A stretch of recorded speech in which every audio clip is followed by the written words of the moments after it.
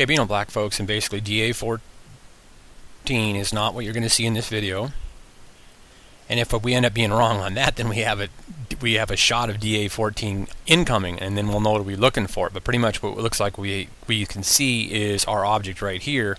Now remember, this is the closest thing known to every human being on the face of the earth to be the closest thing in their lifetimes, their ancestors 3,000 years ago, and so forth and so on. And we are going to show you a key to.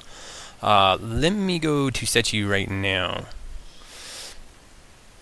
And we're going to show you that that's the darkness that certain cultures told in history would happen. Okay, and you know I've showed you the meatball of recent, and we're going to study this here pretty good because you're going to get a good shot of knowing exactly like I've showed you and that NASA has taught me because basically I go by you know everything scientific that I can find and everything for information, and then you can see that the shadow of Venus is the same size as that what it is. Okay. Now the interesting thing is here we have the comet moving away, and I'll probably have to slow it down, but you can probably see it. Let me point to it real fast, and there's the comet moving away. Okay. So what it did is it came in, and it, what it is is it's uh, now remember we got the meatball down here. It's been known about for a long time. There's been people that have been hushed, hushed, and everything like that. Now the one thing is, is you need to come to Beano for the truth because basically I love I love these guys' show here. I'm gonna go over to. They charge you money, and then they have a live shot of the sun today, and they they were showing you that the, end of the earth is not coming. Now let's show you what people that if they actually wanted to be probably cold as a cucumber and you understand what I mean by that. The idea that you wouldn't be on, you'd be locked up somewhere if you were trying to pull off that the end of the world was coming and you're showing people this shot from out in space. Okay, so this is footage from SETI from your government. Yes, every branch of the U.S. military. Happy holidays and happy New Year. Okay, uh, Beano loves you. I'm a U.S. tax-paying mofo just like all of us. And uh, anyhow, in the future, I'm going to have my site and keep an eye on all this stuff because it'll always change, just like how NASA always changes the name of objects and so forth and so on. Like they don't really actually tell you, they don't go, but Beano tells you that's one of the meatballs that we have out in space, and it's huge. You see, and there's huge amount of distance between the Sun and Venus there, and then it's got its alley that it goes through. Now every once in a while, it's going to hit a star, and it's going to, you know, exploded or whatever. Now you see what the electrical activity does to Venus's atmosphere, and Venus rotates counterclockwise. Okay, or clockwise, excuse me, clockwise Venus. We are counterclockwise. We rotate to the east towards the sunlight of the sun. Now, as you can see, we might even here on Earth, with this electrical activity that's going on, with the meatball being in the position that it is right now, as you see, it's moving away from Earth because Earth is up over here. Okay, Earth is to the to basically the shot that we're looking at on Mercury, we're to the right up over here. Now we have gotten some of these blinks. That's what the when we were showing you the Hawaii telescope footage when I showed you that the idea of what happened, the whole sky went black. That's that black light off of the sun when the meatball does that, and NASA doesn't tell you about it because they don't get uh, approval from the higher ups to be able to tell you that. Okay. Now, the most interesting thing, even though this is the dramatic, and we finally know because we finally get some footage from NASA when it's doing this. Now, this isn't the first time it's ever done this. Okay. We've seen the meatball around before. NASA just hasn't. You know, we haven't been able to see it in a movie to be able to see and put it all together to know that this is what happens. Because there's been people that have been studying this meatball, which I can pause it real fast and you'll understand that that's the meatball. And you should have seen the last couple of videos, and not look at the, couple before this.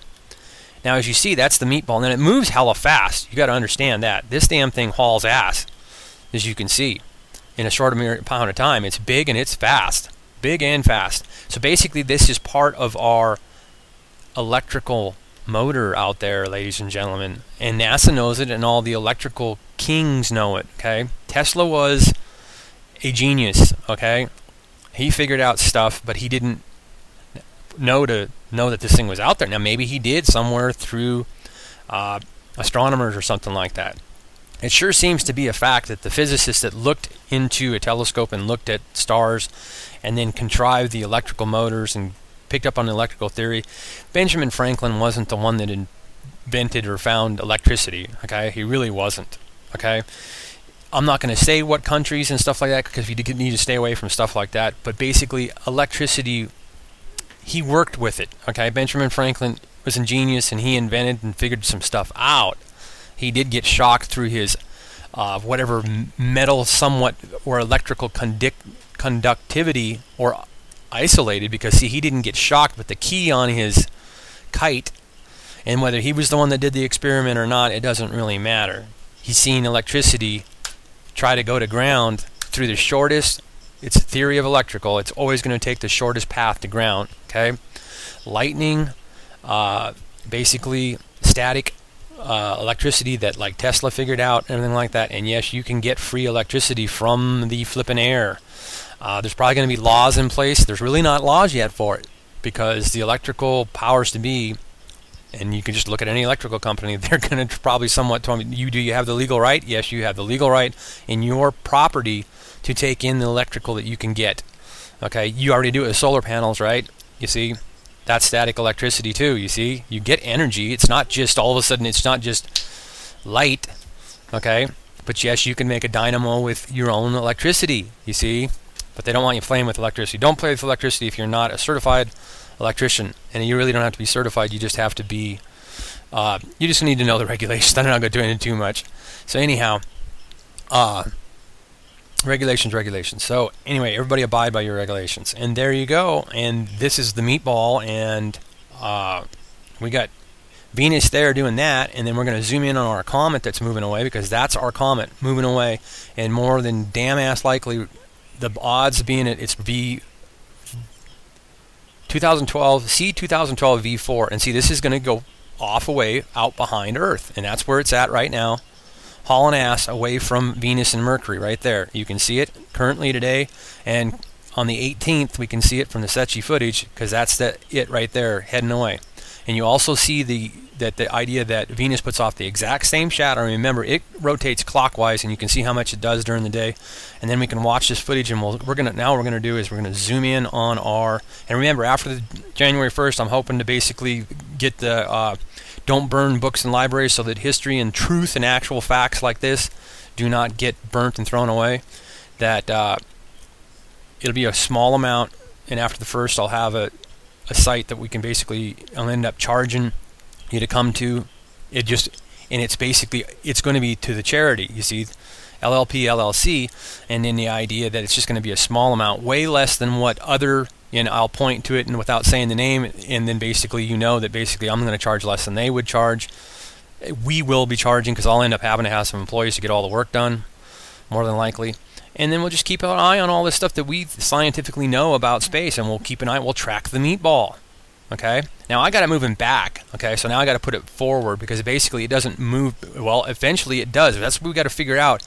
But see, it should be that the orbit of it goes this way, and you see how fast it moves. So within a certain amount of days, and being as large as it is, is and then you just got to figure out the circumference when we do our proportional integral derivatives, and when we'll be able to figure out, and we pretty much got a size because we got it coming between Venus and the Sun, and then we can distribute and do proportional integral derivatives and figure out this distance and how fast it's traveling and everything like that. So we've got a huge rocket ship out in space, and it's the meatball, meatballs. Uh, I just don't understand why. Uh, I honestly, I want to call it cowboy because it's the biggest thing I know. So I like beef. Okay, I don't mind eating a little bit of yardbird every once in a while, but I really like beef. So I think I'm going to call it cowboy the big cowboy in the sky, the space cowboy. So because there's probably way more than one meatball, and then we got to go down to a little spaghetti balls because basically we got to go check out this comet here. So we're going to pump in on on the screen and go watch our comet moving away as the as the video plays. And we'll go in at uh, six six. We'll go seven seven seven. I just pump in a three-digit number. I'll go 666, sometimes 555. I just punch it in real fast to try to find what I'm what I'm looking for, 777 or whatever, you know. So every little size works for every little software thing. And now what we're doing is we're looking for that comet going away, and there it is. It's way below, and as you can see, there it is below. That's the comet heading out. So it was damn good size, and as you can see, it still looks pretty good size, and it hauls ass. You got to remember we have a lapse of like the 14th through, and on the four, on the 14th footage, I couldn't find it. But remember, we seen it coming over top of Venus and Mercury, so it's already done its turn.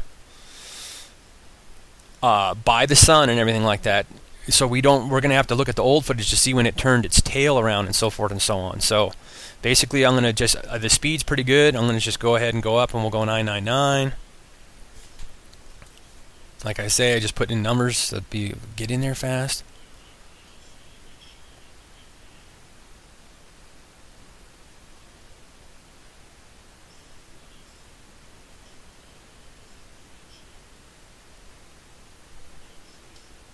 So that's our comet moving away right there in the lower. What I'm going to do is go down and slow it down a little bit.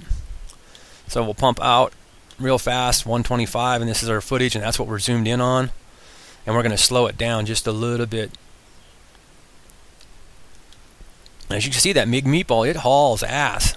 Okay, so now we got to slow down pretty good. remember, we could still end up with somehow, uh, when we get the meatball back around, whenever, that's why we're going to be important to track it so that we know the next time. Now, remember, DA14, this is the closest thing we know that's ever going to be coming by man's humanity known, okay, and it orbits, okay. And remember, I told you a long time ago that in the close approach data, someone rich and powerful had some devious ideas at one time because basically at one time, someone hid all the information from 20, 1926 to 1996, okay.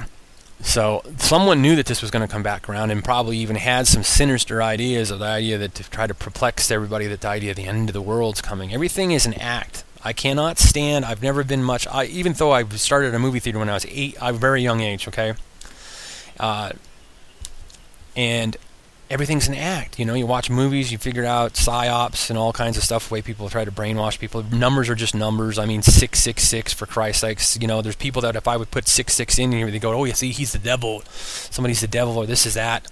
It's all but everybody plays something off. Shakespeare, everything's the spear. In the United States military, every branch of the military is the spear. But the thing is, every person in every branch of the U.S. military is trained to kill. They know either kill them first or they're going to kill us. That's how the U.S. military operates. And if you don't believe that, uh, go talk to somebody that's been a Marine enlistment, okay, or any branch. The U.S. and that's every branch. The Army, they taught the same way in boot camp. You are going to kill. If you don't kill the enemy, the enemy will kill you. Now we people have we have some kind of enemy, domestic and foreign, that's trying to take our guns away in this country. Okay, that's that's that simple. Okay, that's that actual factual. Uh, pretty much seems to be a big play skit that someone's trying to pull off, and whatever. And uh, everybody knows the actors. And so now we're going to get up here and look at this comet. I'm going to zoom in on it. And just remember, when Beano talks, basically, you're somebody special because the idea that not just anybody can get on the internet and get this information because there's certain powers to be that are very powerful. And just remember, if you're in America, you're just visiting, okay? Don't forget to pay the rent. We do deport people. And we always have our eyes on spies all the time. So there's our comet moving away. As you can see, it looks like maybe one more than one element, or is that two stars twinkling? I would say it's just one element. Let's get in. We got to get on that. We're going to have to go to the zoom, our tool. Now remember, as soon as I use the pointer, I, I mean the the zoom, I'm going to lose my point ability. Okay. So it almost looks like I need to slow this down a little bit more. Okay, so remember, folks, numbers are just numbers. Don't ever let anybody psyops you out with numbers 888, 666. It's just power and control. It's mind control. It's psychological. Now, remember, that's the blackness that when you see the telescope over in, and that's interesting, there is something that even in the darkness of space that ends up, well, we're going to be looking at the comet, but we're going to see, is it the comet that basically lights up in there? And we got to watch that now as it goes back. I wanted to go back to the black flash, but when you see the footage at the telescope, Canadian and French one over there, now someone could start playing games. But actuality, when we've seen that go to black like that, with it, like you see in this footage, and there is the comet. But there is, we're going to have to study in my next video. I'll pick up that. See that there? There's something that actually flashes in the dark of space when uh, then when the meatball does that electrical activity there. So it's probably electrical activity to a star that's deep and way the hell back out there. Okay, you got that? And I can't point when I get when, when I start zooming. So we're going to zoom in on the comet now.